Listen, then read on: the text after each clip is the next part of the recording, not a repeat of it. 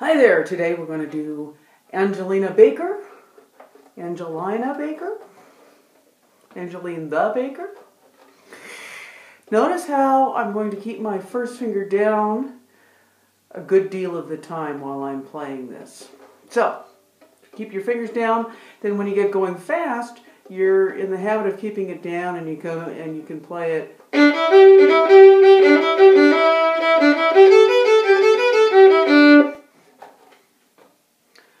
Another trick that'll help you work this up to a faster speed is to put your third finger down by itself. I know that's odd. You keep one finger down as much as you can and you put another finger down all by itself, but you don't need to put all three fingers down in order to play the third finger. You can do it by itself.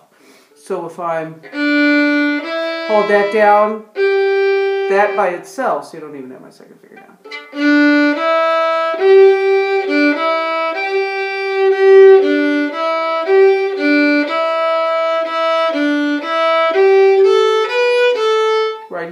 My third finger down by itself. And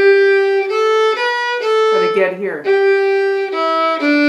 Because I don't need, it takes more time than you really have to go. Makes it complicated. And then when you're getting going fast, it doesn't work so well. So there you go. There's a little tip. All right, here we go. Not that fast. Keeping that first finger down. One, two, ready, and.